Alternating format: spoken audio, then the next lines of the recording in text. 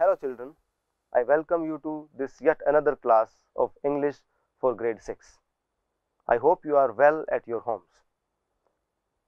Children, you would have heard a lot of stories on friendship. Of course, you would uh, have enjoyed such stories and you would have learnt many things from such stories. The first thing that you would have learnt is about your contribution in a friendship.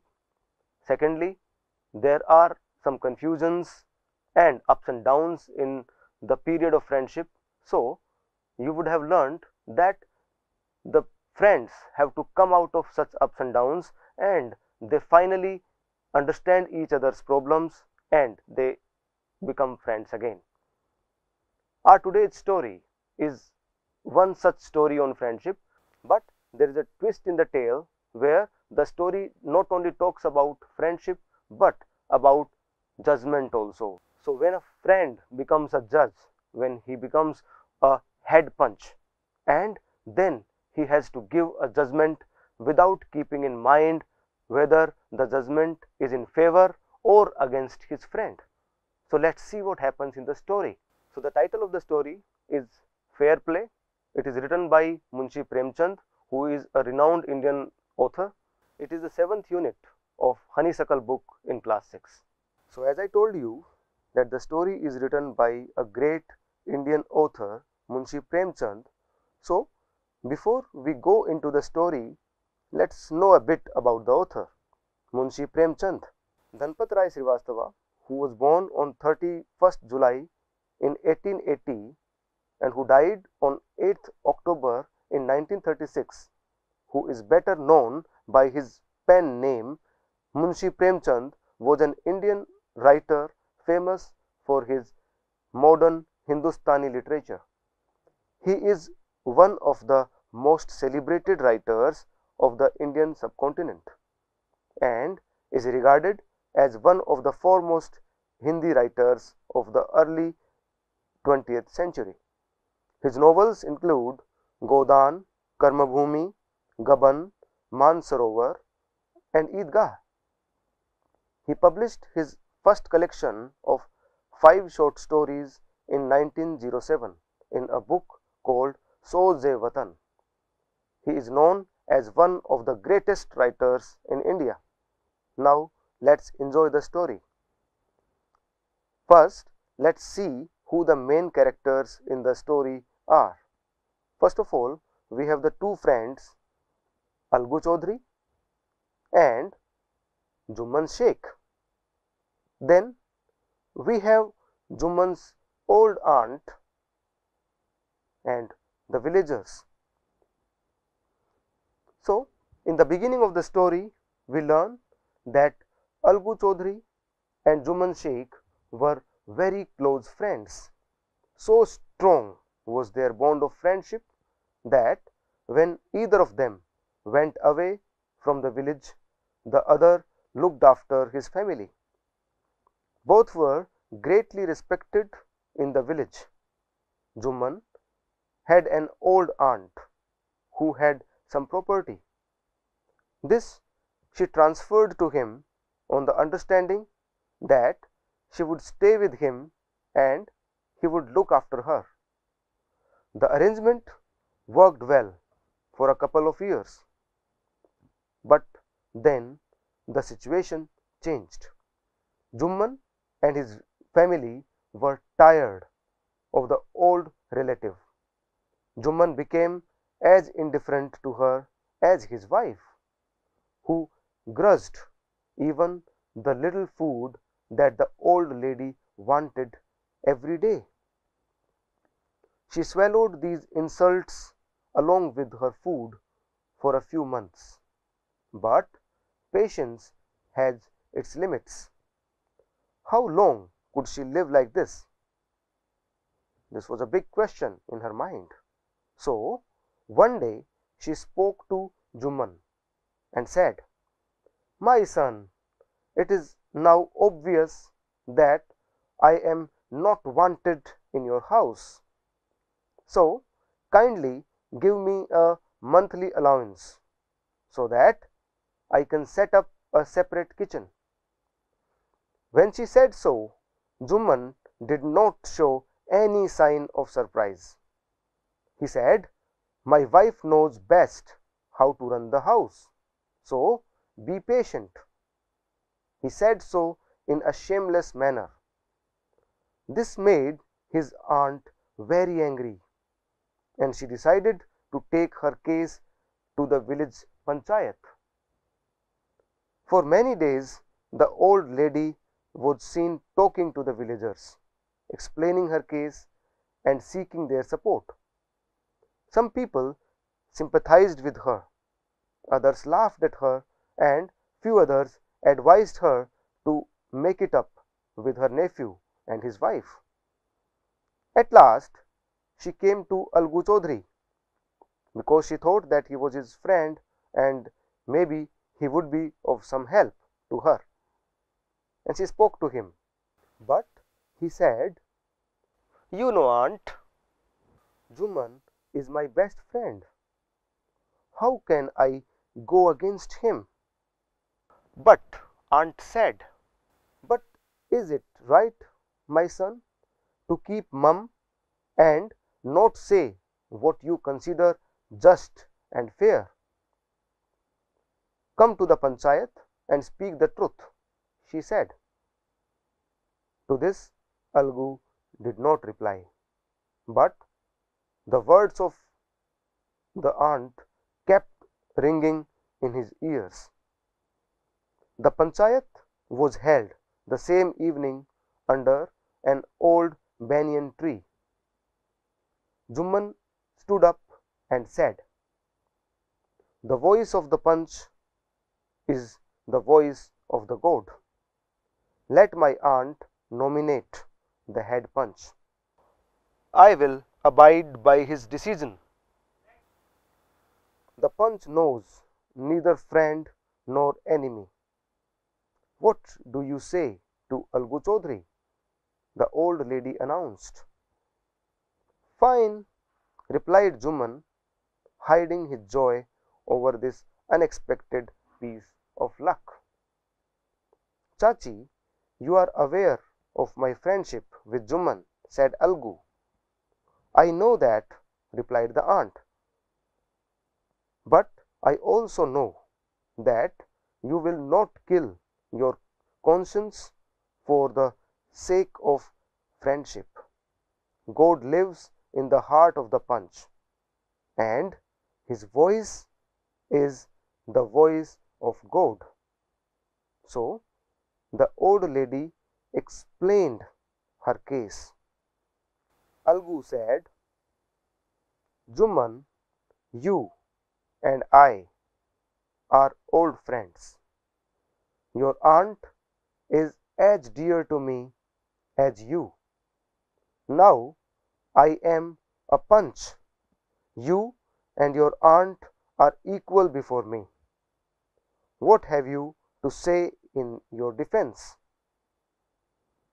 So Jumman began saying, He said, Three years ago, my aunt transferred her property to me. I promised to support her as long as she lived. I have done all I could.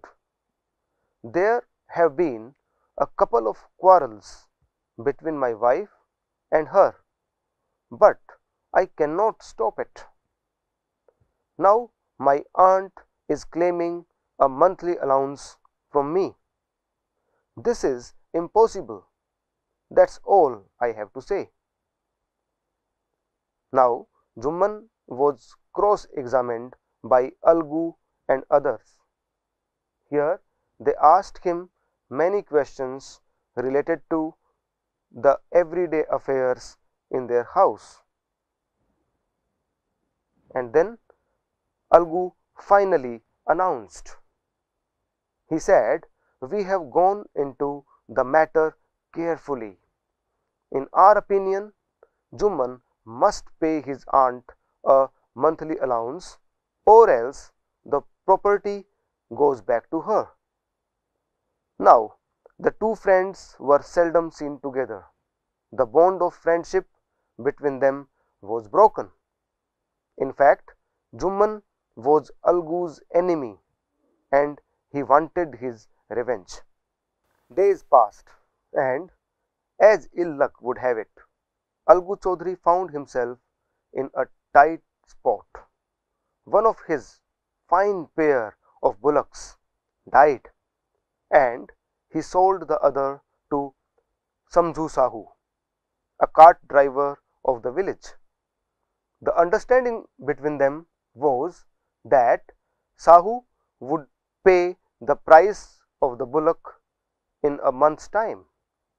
It so happened that the bullock died within a month.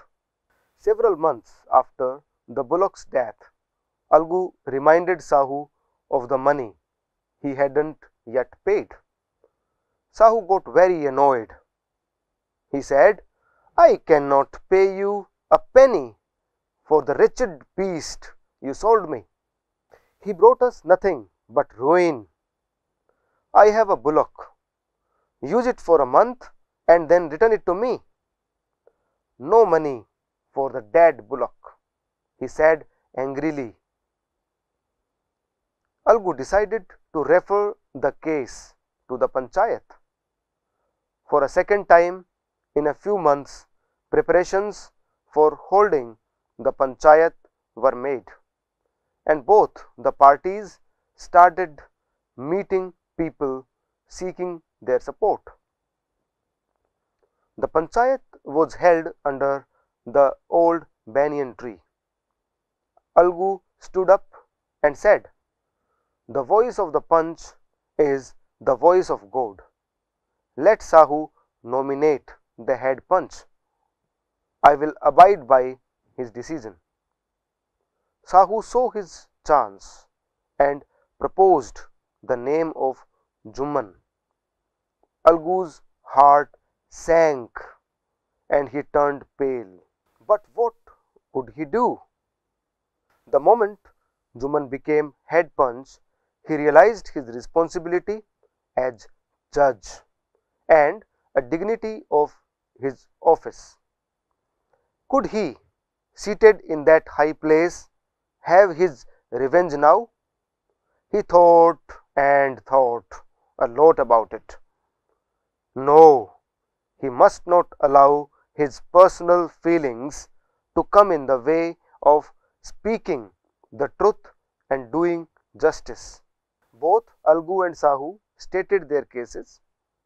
They were cross examined and the case was considered deeply. Many questions were asked to both Algu and Sahu. Then finally Jumman stood up and announced. He said, It is our opinion that Sahu should pay Algu the price of the bullock. When Sahu bought the bullock, it suffered from no disability or disease. The death of the bullock was unfortunate, but Algu cannot be blamed for it. As Algu heard the decision made by his old friend Jumman, he could not contain his feelings. He stood up and said loudly over and over again, Victory to the Panchayat! This is justice. God lives in the voice of the Panch. So, he was overjoyed at the decision made by Jumman Sheikh. Soon after, Jumman came to Algu.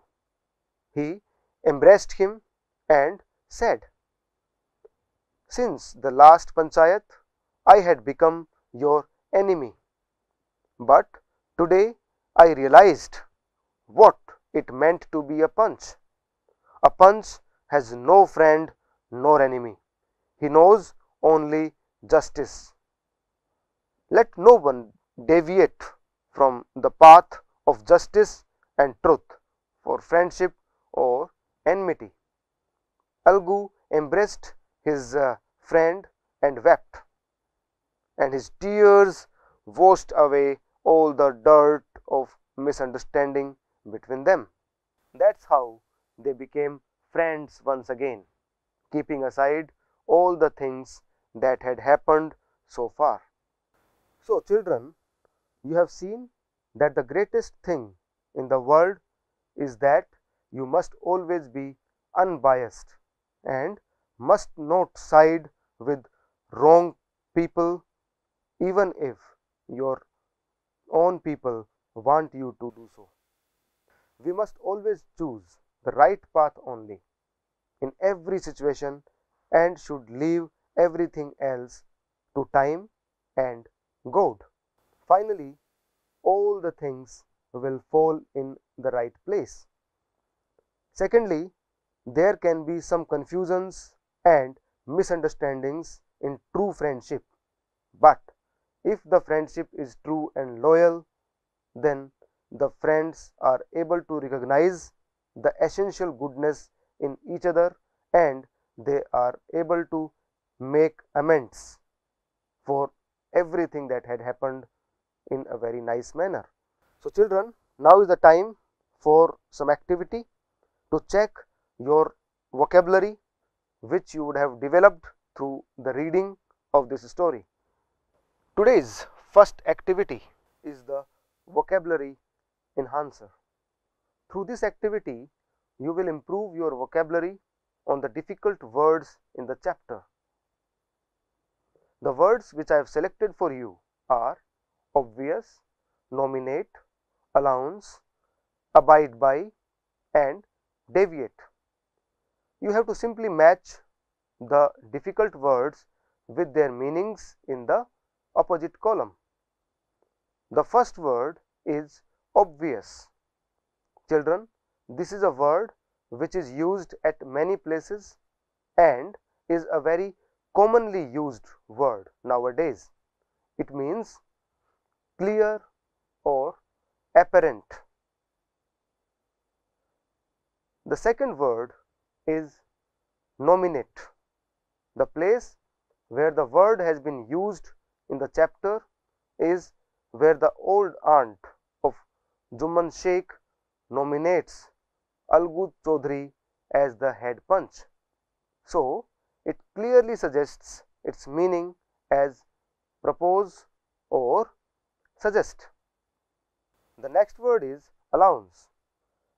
The old aunt had given the option of being given a monthly allowance by Jumman Sheikh, which was rejected by him. So, children, what does it mean? She was simply asking for some monthly stipend or money with which she could lead her life. So, the meaning of the word is payment or grant of money. The next phrase is abide by. The place where this phrase has been used in the chapter is where panchayat was to be held for the first time and Jumman Sheikh states the voice of the Panch is the voice of God. Let my aunt nominate the head Panch. I will abide by his decision. So, here he simply says that he will obey and follow the decision made by the head Panch nominated by his aunt. So, the meaning is obey or follow. The last word is deviate. The word has been used where Jumman says, Today I realized what it meant to be a Panch. A Panch has no friend nor enemy.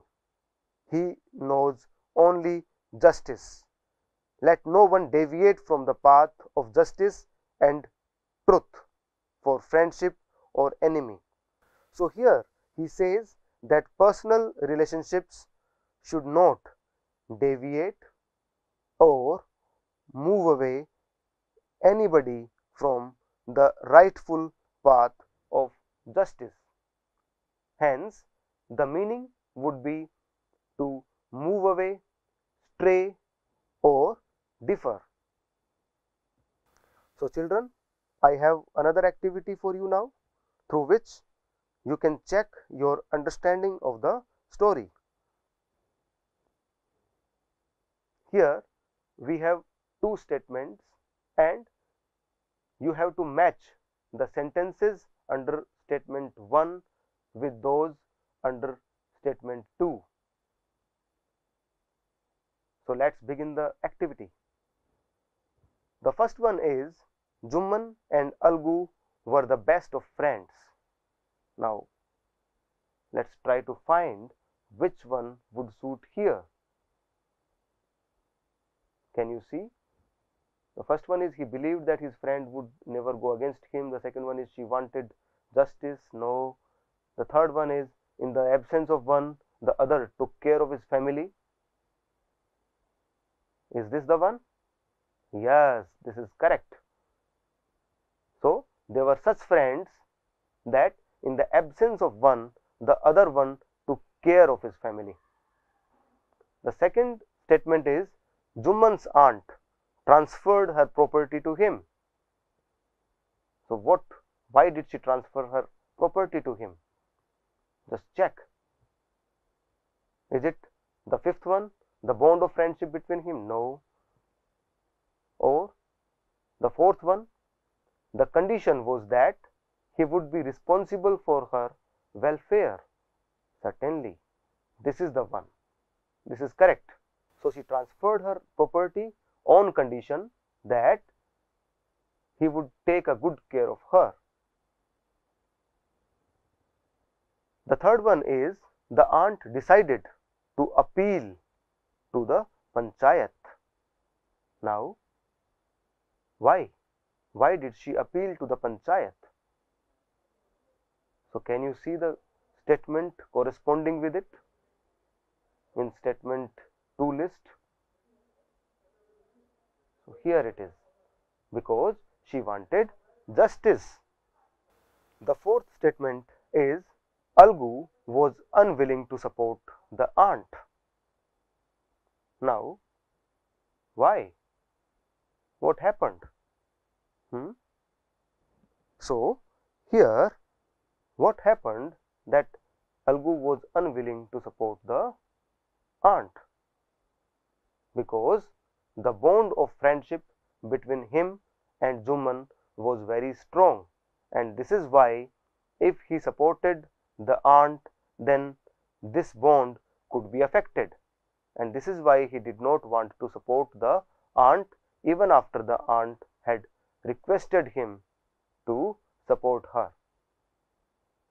The last one is Jumman was very happy to hear Algu's name as head Panch. Why was he feeling so happy? So, we have the last option left. He believed that his friend would never go against him because we always feel that if our friend has to decide, he will always take a decision in our favor. So, the same was the feeling of Jumman when he could see that his friend Algu Chaudhary had been nominated as head Panch. So, after this activity, now is the time to assign you some homework which you have to do at your homes. The homework is as follows. You have to write answers to the questions which are written here. The first question is then the situation changed. What is being referred to here? The second question is when Jumman's aunt realized that she was not welcome in his house, what arrangement did she suggest? The third one is what was the villagers' reaction when the aunt explained her case to them. The fourth one is why was Jumman happy over Algu's nomination as head Panch? Next is Algu found himself in a tight spot. What was his problem? The next question is why was Algu upset over Jumman's nomination as head Panch? The next question is what was Jumman's verdict as head Panch? How did Algu take it? The last question is which of the following sums up the story best? Now, we have three options. The first one is I also know that you will not kill your conscience for the sake of friendship. Second option is let no one deviate from the path of justice and truth for friendship or enmity. The third one is the voice of the Panch is the voice of God. So, you have to choose one option out of these three options which sums up the story in the best manner and after selecting that option you have to give a reason for your choice. So, children I hope that you would have enjoyed today's story which is certainly a very unique story written by Munshi Premchand. Along with the story we enjoyed some activities to check your understanding of the story and to enhance your vocabulary based on the words which have already been used in the story. You have been assigned some homework and I hope that you will do this homework and you will have great fun doing it. We will meet in the next class. Till then, goodbye.